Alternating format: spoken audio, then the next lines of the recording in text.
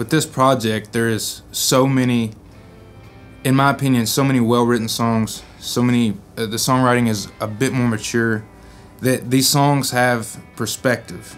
Each one of has a really cool perspective. Even songs that you haven't heard yet, they all have perspective, and it's such a relatable, such a uh, you know a relatable um, topics. A lot of them, uh, you know. Um, to to pick a favorite because you know what play what you know in my opinion my, my favorite song i would have to break down what's the vibe of it? What's the reaction of it? And and how does it make me feel when i play it?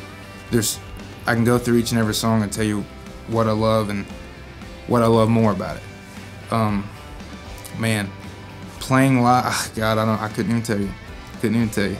Maybe hickory switch maybe second fiddle um, maybe maybe anything that that the boys and myself jam in my opinion that might be my favorite. Because we've taken some you know some covers and and you know they climb the list too as far as like stuff you really get excited about playing.